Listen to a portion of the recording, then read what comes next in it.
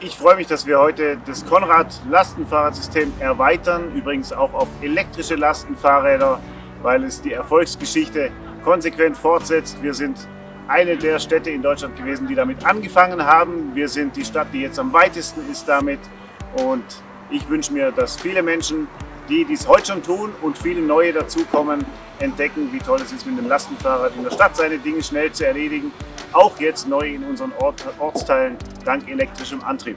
Alles Gute, viel Spaß, fahrt sicher und passt gut auf unsere Fahrräder auf.